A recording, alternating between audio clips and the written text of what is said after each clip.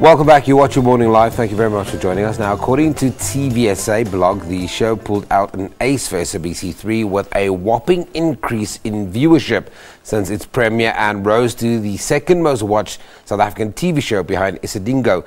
That's TV show titled Magic with Mo and is the first of its kind for South Africa. The magician, who has an honours degree in electronic engineering, now brings his show to Durban audiences at the Elizabeth Sneddon Theatre from the 11th to the 14th of February. He joins us now from our Durban studios to tell us more about Magic with Mo. Mo, good morning. Thank you very much for joining us. It's an absolute pleasure. Thanks for having me. Uh, honors degree graduate in electronic engineering, and in 2010, you resigned from a lucrative contract to pursue magic. What was happening?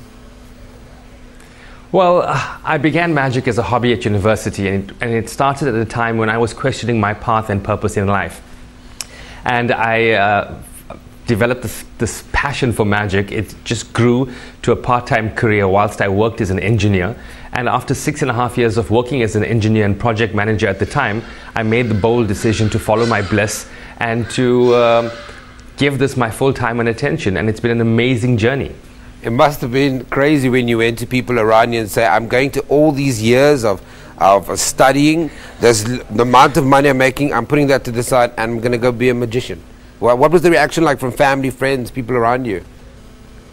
Well, I have a, a, very close and supportive network who were understanding and uh, who trusted me to make my own decision, so that was good.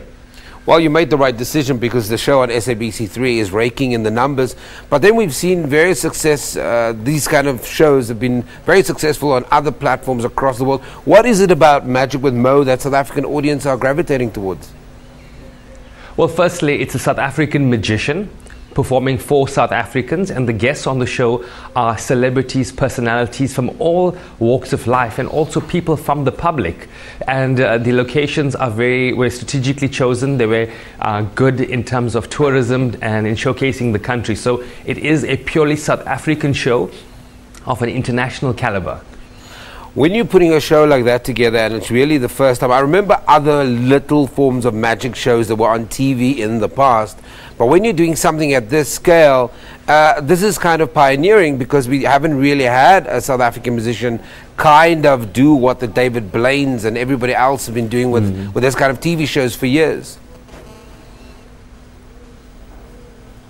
It is pioneering isn't it Oh, yes, it is. Sorry, I just lost you there for a second. Uh, it is pioneering, but it's also been a labor of love. And um, I travel abroad. I get to meet um, the best in the business in terms of magic.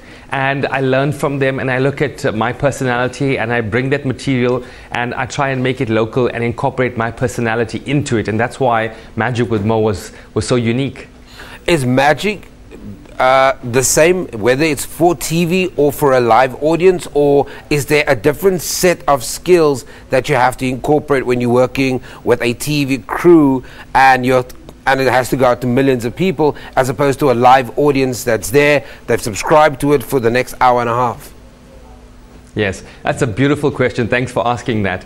Um, it is very different because for me personally, magic is best experienced live. When you're there watching it, is when you really experience it because Magic is an internal experience. It's I, as the magician, am performing for you, but you really feel what's happening. So there is a difference, and with uh, performing for TV, the person at home is basically watching the experience and imagining and experiencing as it, as, um, it as if they were there.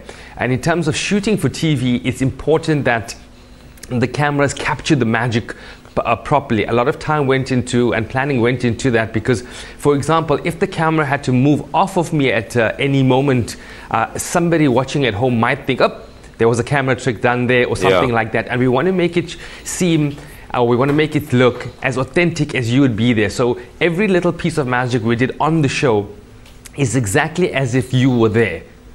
Will you be bringing some of the elements that you've done on the actual TV show into the live performances, or would you, do you like to keep the magic Magic with Mo on TV and Magic Mo live experience in inside a theatre separate?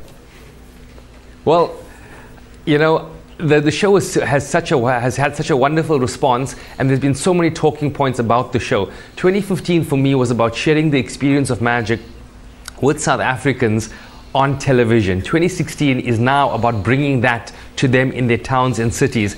And I will be performing some of the most talked about illusions and routines from the TV show live for people to enjoy. And I also have another few routines and tricks saved, especially for the show. So it's an hour and a half of magic, mentalism, which is popularly known as the mind reading type of magic, and yeah. clean comedy. It's so interesting that you have found this market for yourself and you know, as somebody who works in this industry, a couple of years ago, you would have thought it implausible to have a TV show that focuses on magic, even though it has been done around the world. What does it say about mm. the maturity of South African audiences that we are finally? And I mean, look, you're not the first person. There's Larry Saffer. Uh, there are. Uh, I remember Stuart Taylor a couple of years ago. Before he was a comedian, he was actually a magician. But what is it about the audiences right now that gravitate towards your show and your live performances? And, and it says something about our audiences doesn't it? It, oh, it definitely does. I mean, we live in a in um, in such a global village at the moment. It's information accessible at our fingertips, whether through our digital devices. Um, or television where we're seeing what's happening in the world. And magic has become really popular again in all forms of media. And of course, the South African public have just taken to this. And um, the, the show Magic with Mo has been a dream of mine for over 10 years, and I'm absolutely thrilled that we've had a chance to bring this to uh, fruition and with the response. And now I'm excited to be taking this to people in their towns and in their cities.